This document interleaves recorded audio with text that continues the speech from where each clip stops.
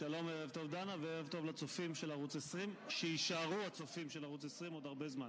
נחזיק אצבעות. אתם אחרי ימים ולילות ארוכים בכנסת, והנה חוק ההמלצות בדרכו לבג"ץ. אז אולי לא היה טעם בכל המרתון הזה שלכם? ממש לא.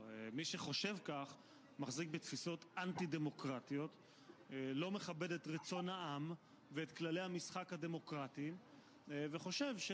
הוא יוכל להמשיך לשלוט מבלי להיבחר.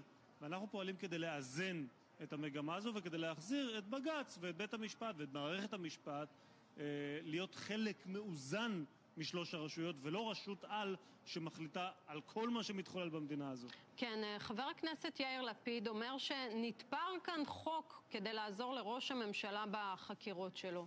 מה יש לך לומר לו? הבל ורעות רוח, שקר, בוץ בעיני הציבור. החוק הזה לא חל על ראש הממשלה, הוא לא רלוונטי, ואילו הטענה היא שהחוק הוא פרסונלי, אילו האופוזיציה הייתה אופוזיציה ראויה, אילו נבחרי הציבור שלהם היו ראויים, הם היו מצביעים בעד החוק הזה, כי החוק הזה טוב לציבור. אחרי שאתה מקלף ממנו את כל הפיקנטריה, בסך הכל מה החוק בא להגיד? החוק בא להגיד למשטרה משטרת ישראל, אנחנו נותנים לך את כל הכוח לעסוק במה שאת צריכה לעסוק, אבל אל תעסקי במה שאת לא צריכה לעסוק. ההמלצות האלה שמגיעות הן אינן מעוגנות בשום חוק, קודם כל. מעולם המשטרה לא פעלה במסגרת החוק כשהיא המליצה. דבר שני, זה לא הפררוגטיבה שלה, זו לא המומחיות שלה. במשטרה יושבים אנשי תשאול נהדרים, חוקרים מצוינים, הכל טוב ויפה.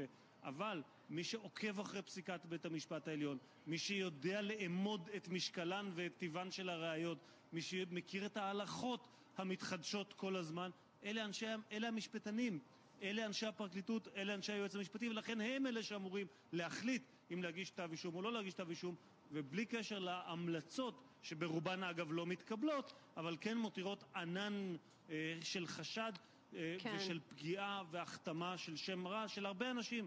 אגב, 18 אלף תיקים בשנה המשטרה ממליצה להגיש כתבי אישום. מתוכם את יודעת כמה בסופו של דבר מוגשים כתבי אישום? 4,000.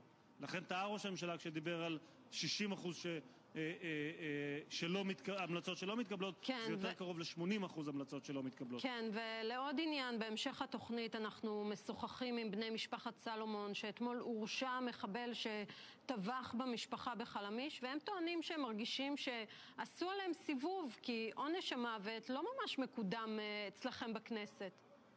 כן. קודם כל צריך לדעת, וגם פה לפזר את הערפל ולומר לציבור באופן ישר, יש בישראל עונש מוות. כל מה שצריך, זאת אומרת, לא צריך לחוקק אותו, הוא קיים בחוק. כל מה שצריך זה מערכת התביעה הצבאית, תדרוש אותו.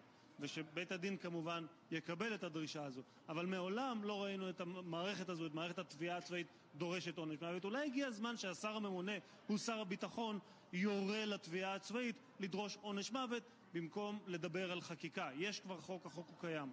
כן, חבר הכנסת אמיר אוחנה, תודה רבה לך. תודה רבה לכם וערב טוב.